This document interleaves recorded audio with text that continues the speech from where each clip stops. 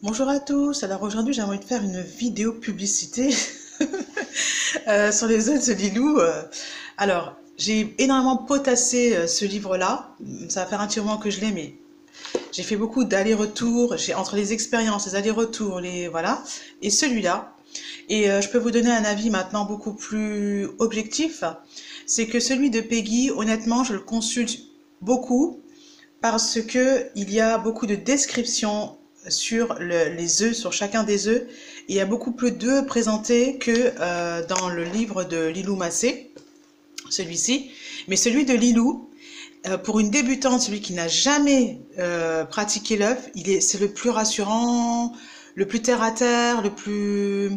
Et mais il, se voit comme du petit lait, c'est-à-dire qu'il faut pas, faut, faut prendre le temps de le lire il faut bien respirer, relire c'est celui que je préfère en termes de euh, c'est quoi? Celui de Peggy, il y a beaucoup d'écriture aussi.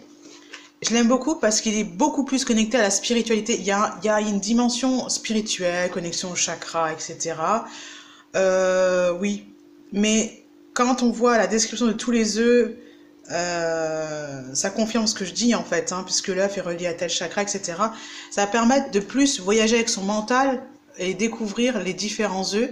Celui de Lilou, il est bien, mais je m'y réfère vraiment pas pour ça. Je m'y réfère pour toutes les quand est-ce que je porte l'œuf ou la nuit dans le bain, euh, euh, hum, sur les pratiques, les exercices, c'est vraiment très très bien euh, très bien décrit. Quand je prends quand je prends deux œufs différents à l'extérieur, quand je porte deux œufs, un à l'intérieur, lequel je choisis, voilà, il est il est très bien pour commencer. Voilà.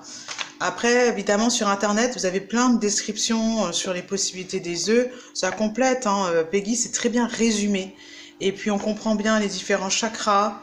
Euh, voilà, il y a le lien avec la spiritualité est beaucoup plus clair avec celui-ci. J'espère que la caméra n'aura pas bougé dans tous les sens et que vous aurez compris le message. Voilà, à bientôt.